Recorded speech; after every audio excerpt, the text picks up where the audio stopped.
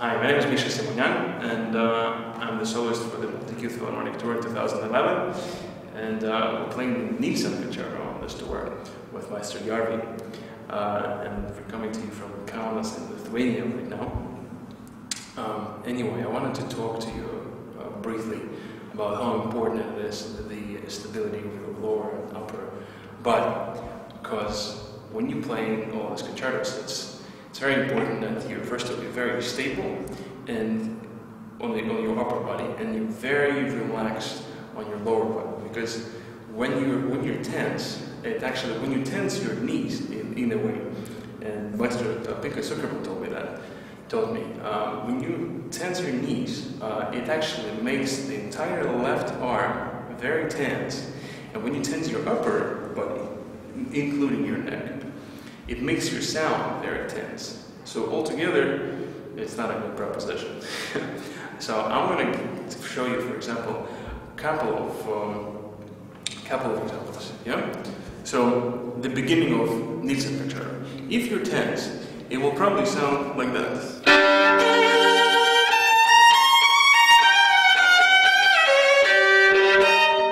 And now the difference is when I'm completely free and stable.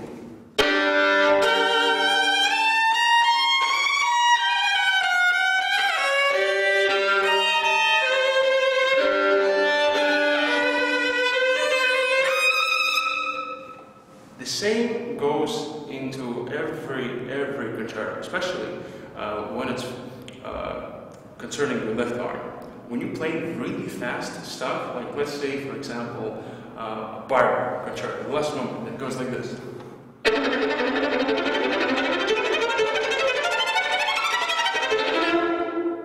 With your tense knees, your left arm, and especially third and fourth finger, get extremely, extremely tense, and you start playing faster than you even realized. But again, if you even actually just even kind of jump a little bit around and, and feel this freedom and feel the groove of, of rhythm, then it makes then it makes a pretty easy proposition like that.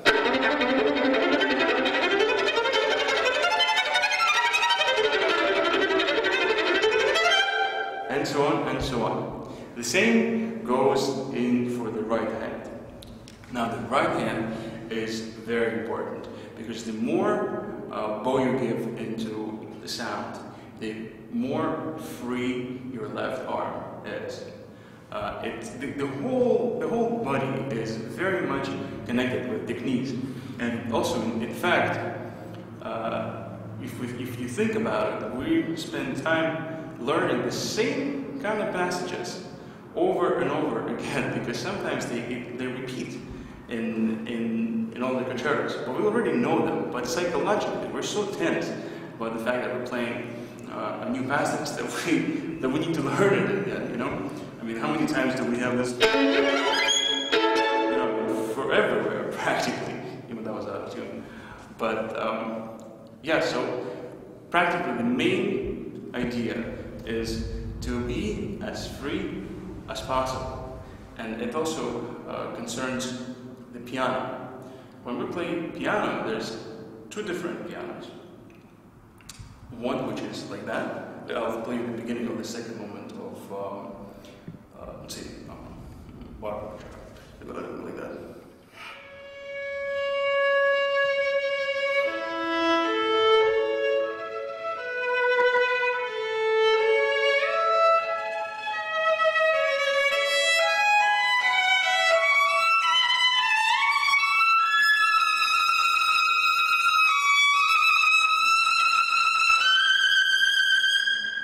we have piano like that.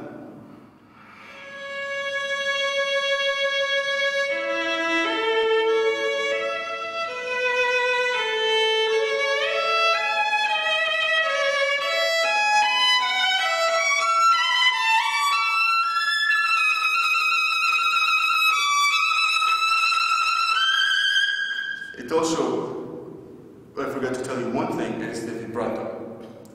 The vibrato is actually one of those things that makes us extremely tense.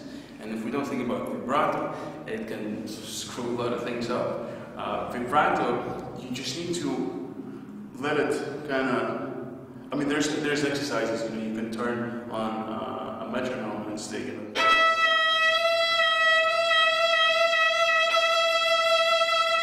All that stuff. But in my case, I just use it the way I feel it. And I have, you know, this kind of environment. I have this.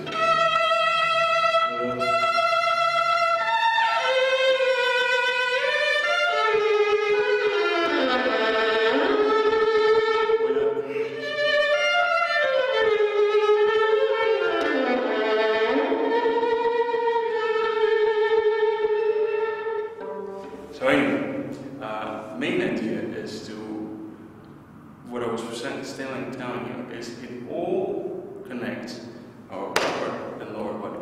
If we don't have that um, figured out, then we are in the middle of a big, big, big problem. And always, in my idea, uh, is to always feel sort of the, the groove of, of, the, of the music that you're playing. Always kind of feel this uh, rhythm. If you have, you know, this, you know, four beats, one, two, three, four, one, two, three, four. So you kind of, you know, you, you always have this kind of idea that all these beats, you know, they, they give us the, the energy, and it, it automatically kind of relaxes relaxes your body, you know, in, a way you're like on a, on a boxing uh, ring when you when you're playing it. It's uh, get, I see a, a big similarity in that because if you get tense and you start fighting, you know, then you get beat up. but if you if you're relaxing and, you, and you're confident, and never never be scared of any of the passages, just go for it, you know just really go for it. Like, you know, I have this uh, really kind of uncomfortable spot where it goes like this. it goes, uh,